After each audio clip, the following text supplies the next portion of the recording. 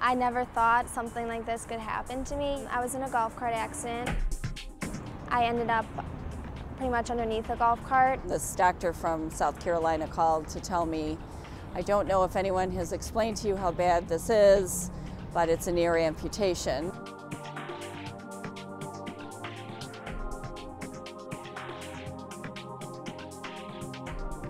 Does it feel a little bit different than this side? Yeah. Feels a little numb? Mm-hmm. And then touch my fingers.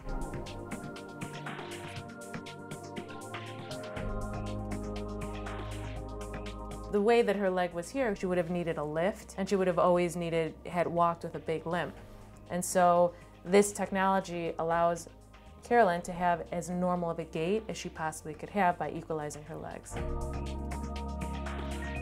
And once this came out, I just wanted to learn how to do it. It's always great to, to see somebody who's just benefited so much from this and the effect that it has on them and their life. Do you want to hold it or do you want me to hold it?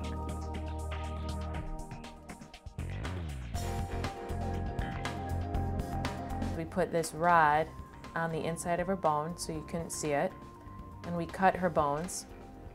And then this rod has a magnet, and every day she would put this um, device on top of it that would run the magnet and it would lengthen her leg.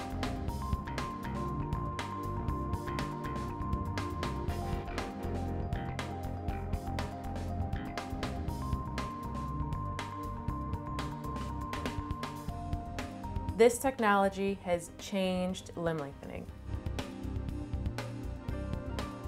They'll present with hip pain or back pain, you know, or suddenly they'll just, the, the parent will notice them limping a little bit, but nothing that you would have noticed previously. She's doing great.